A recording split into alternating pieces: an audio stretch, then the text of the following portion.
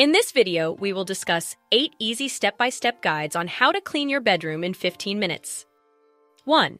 When doing your quick bedroom cleaning, it's important to focus on the essentials. One of the first steps is gathering dirty clothing and tossing it into your hamper. Don't worry about sorting through the laundry and straightening everything out.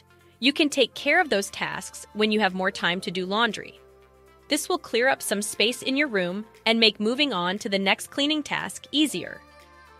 2. We tackled the dirty clothes. Now let's move on to the clean ones. Take a few moments to gather clean clothes and either fold or hang them in your closet. If you have a lot of clean clothing that needs to be sorted, place the clothes semi neatly on your bed after you make it.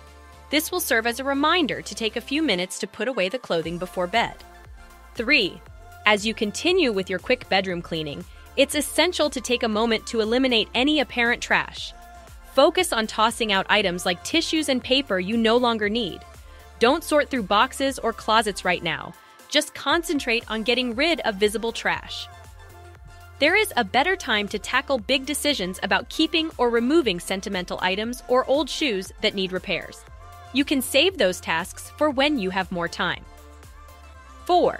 Making the bed may seem small, but it can significantly affect your bedroom's overall feel. We know there's a debate about whether or not to bother making your bed, but taking a few minutes to do so can transform the space.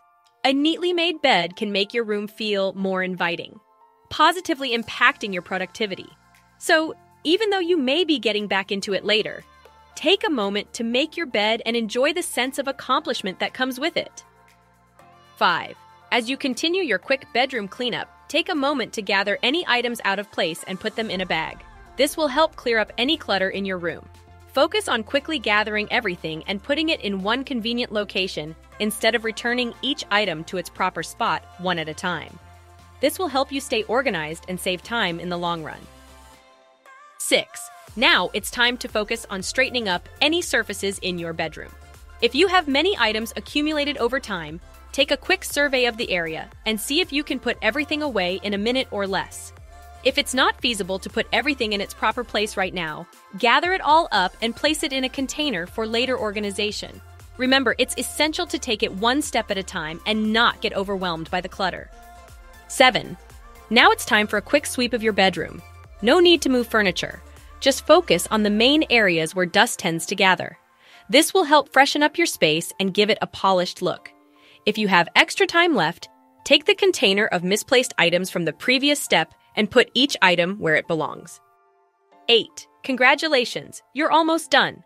As you put away your cleaning supplies, take a moment to appreciate the transformation of your room. You've accomplished a lot in just 15 minutes. Remember, your room will stay clean and organized if this is a regular habit. Plus, you'll always find your bed again. Thanks for watching, and we'll see you in the next videos.